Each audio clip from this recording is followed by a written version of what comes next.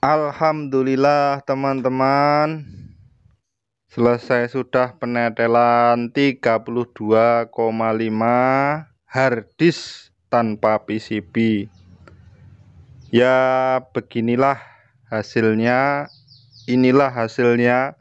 Saya tidak bisa membersihkan sampai tuntas Karena masih ada komponen kecil-kecil yang cukup jelimet Saya butuh ngopi dulu entah kapan kita bersihkan yang penting sudah cukup terpilah dan kita bisa mengetahui susunan atau komposisi dari harddisk 32,5 kilo ini. Coba kita lebih dekat melihatnya. Yang pertama harddisk harddisk ini masuk ke dalam aluminium tebel Lho wis resik ya an sekrup-sekrup ya wis tak copoti. Lho. Ini bobotnya tadi 16,6 kilo. Selanjutnya aluminium plat. Ini terdiri dari piringan harddisknya. Kemudian ini juga tutup harddisknya ini ada yang berbahan aluminium plat ciri-cirinya ya enteng ini bobotnya 2,4 kilo. Ini besi-besinya. Lo LED tutupnya ya besinya ya lumayan banyak ini. Besi semua. Bobotnya 3,1 kilo ini.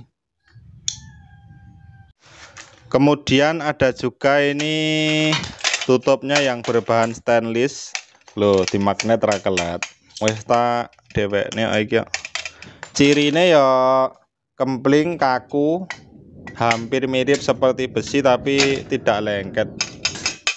Ini bobotnya 3,3 kilo stainlessnya. Coba kita gerinda untuk menunjukkan keaslian dari stainless ini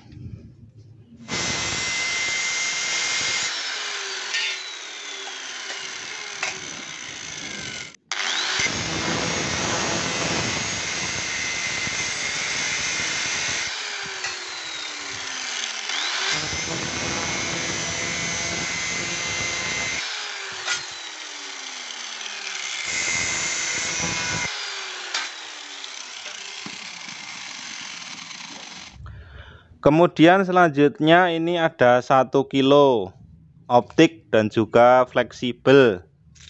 Loh sini ya koyong ini iki. Ini ya bahannya besi dan aluminium. Terus ada fleksibelnya. Terus ada tembaganya sedikit ini yo an harap tak garap lebih lanjut awang-awangan ini. Terlalu jelimet ban ngene iki sik. Selanjutnya ini laker-laker dan juga ada sepul tembaganya kecil. Iki ya bahannya wesi karo aluminium isih campuran iki. Neteli tembagane iki ora jelimet banget ya pokoknya dideweke ngene iki sik. Ini bobotnya 2,4 kilo ini tadi cukup jelimet tenan iki nek ngresik iki ya. adalah magnet-magnet neodymium ini ada yang kecil-kecil satu milinan ada juga yang agak tebal 2 mili ada yang 3 mili bahkan ada yang 4 mili.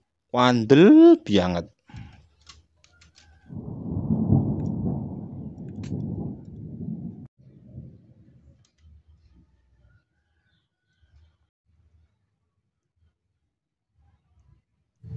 ini bobotnya 3,1 kilo. Ini akan coba kita pasarkan di marketplace dengan harga ya 5000 atau 10000 ngono wae lah. Kita sesuaikan dengan ketebalannya. Kita coba apakah ada yang berminat. Ini bisa digunakan untuk memagneti kerikil atau batu-batu kecil ketika menggiling beras. Teman-teman demikianlah pembongkaran 32,5 kilo harddisk yang menghasilkan barang-barang itu tadi. Semoga video ini bermanfaat. Assalamualaikum warahmatullahi wabarakatuh